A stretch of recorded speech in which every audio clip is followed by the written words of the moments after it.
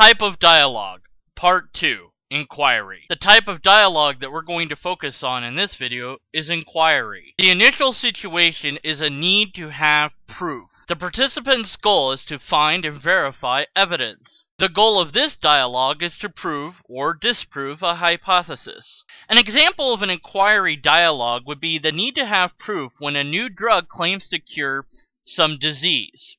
We would as the participants in this dialogue need to acquire evidence and examples and proofs that this claim is true before consuming the drug ourselves. We would want to know the risks, the rewards, the benefits, and so on, and we would need evidence to support the claims of the person or persons saying that this drug can indeed cure said disease.